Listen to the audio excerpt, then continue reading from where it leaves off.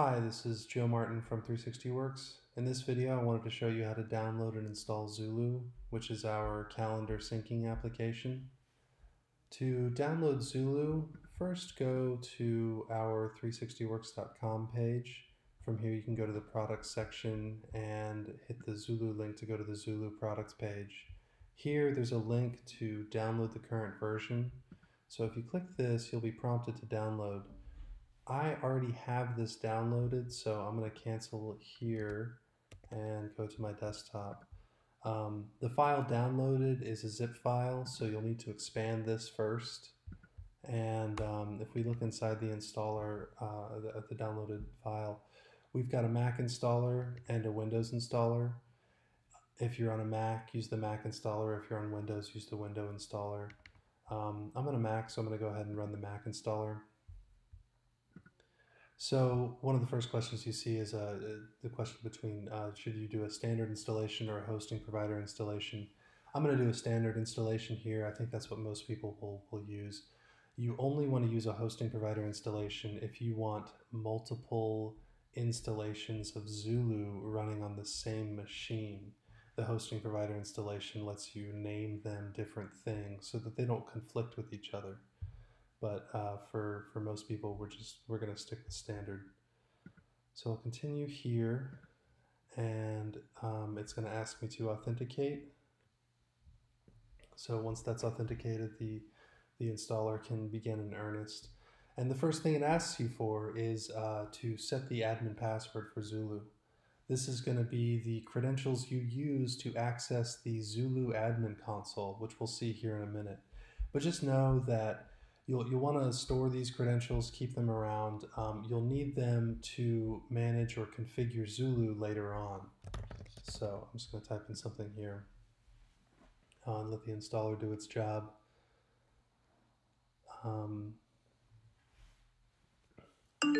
and um, uh, don't worry about this. Uh, for some reason, my uh, our network, my reverse DNS is not correctly configured. So uh, ignore that. And um, the installation was successful, and you can prove it if you open up a, a, brow- a web page and you go to localhost slash Zulu. This will take you to the admin console. This is, uh, you know, I said earlier, where you, where you sort of manage configure Zulu. The first thing you probably want to do here is click the register link so that you can enter in the license key and the register to name that you received after you purchased a license for Zulu. Uh, once that's done, you, you won't run into the demo timeout that's built into Zulu.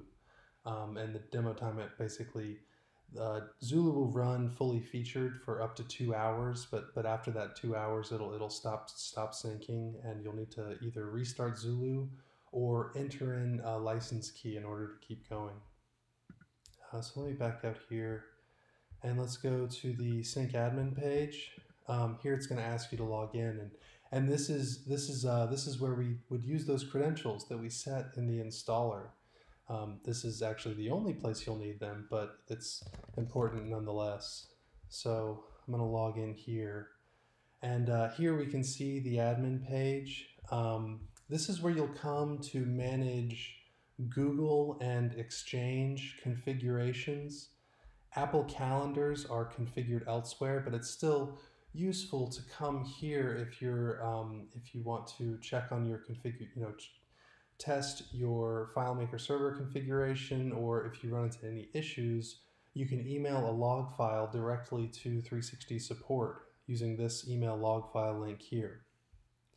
Um, additionally, you can see some information about your installation, including which FileMaker server it's communicating with, the location of your sync data, and the time zone that Zulu will treat events created in FileMaker. Um, I, will go into that more in another video. Uh, but for now, this is just sort of a, a basic run through of the admin console. Um, after you install Zulu, uh, probably the, the one thing you do want to test is to make sure that Zulu can communicate with FileMaker Server. And you can do that by clicking this link here. And if we get this message, successfully communicating with FileMaker server at 127.0.0.1, uh, that means we're, we're good to go and we can continue with, uh, we, we, can, we can move on to other parts of the Zulu setup.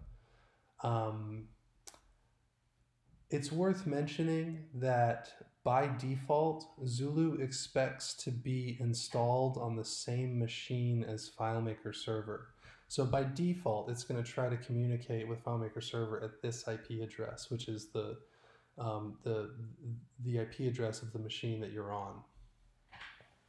Um, there are ways to configure Zulu to communicate with FileMaker server running on a different machine, uh, but that's more of a customized configuration. For now, it looks like everything is up and running and everything looks good.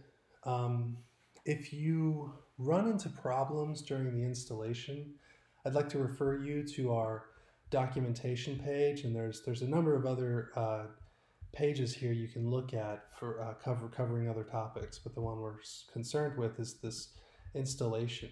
So um, what I just did was I followed the sort of standard installation steps here.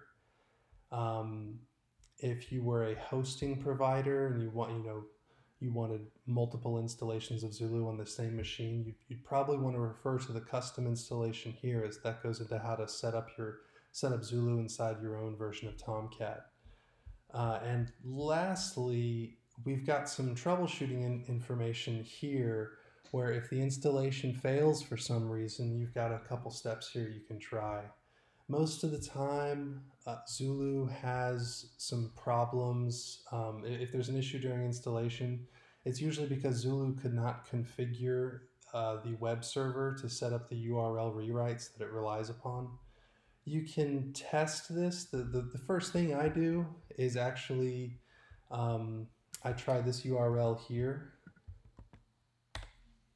And if you can try this URL and see the Zulu admin console, it means that Zulu's up and running, but web server forwarding is not working. So what I like to do is um, if you open up terminal or command prompt on Windows, you can run the command fmsadmin restart HTTP server. And um, just so you know, this won't restart your whole server. It won't restart really anything except for the web server. So this shouldn't really cause any connection loss or, or outages.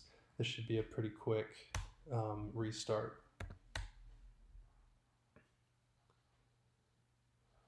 So let this run and after that finishes, come back, verify that Zulu is still working over 42424 and then try removing the port. See if you can hit Zulu over the default ports. If you can, looks good um, you can move on to publishing your calendars or integrating with Apple Calendar, Google, or Exchange. Now that Zulu is installed and successfully communicating with FileMaker Server, the next step is to upload the Zulu2 sample data database that's included with the download.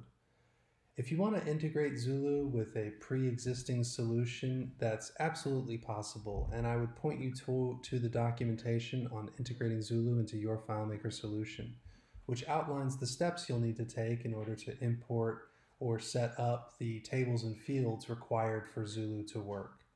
Um, for the purposes of this video, I'm just going to use the database included with the download. So let's go back to that download folder and we can see the, the database included here. Let's go ahead and open that up.